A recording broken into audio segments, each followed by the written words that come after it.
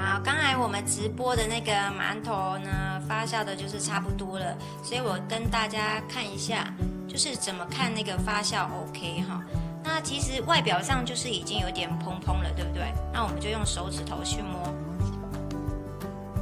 轻轻的触摸，那你的面团有凹下去，然后已经没有回弹了，对，其实就是表示它发酵已经完成了。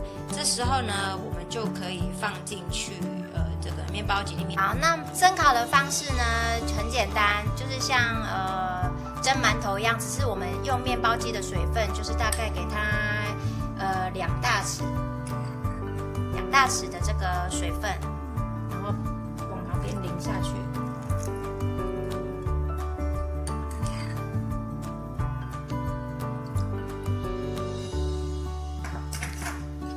放上这个面包机附赠的这个料理上盖，然后就选择烘烤模式。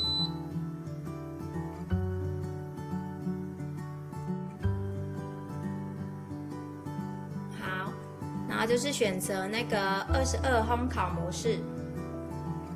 那因为时间它的一开始设定就是大概是三十嘛，所以我就没有重新设定。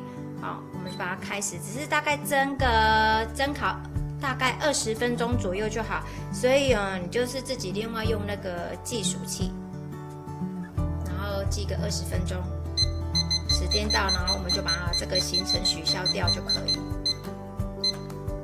那之后我们就来看看烘烤蒸烤的馒头会是怎么样子的结果。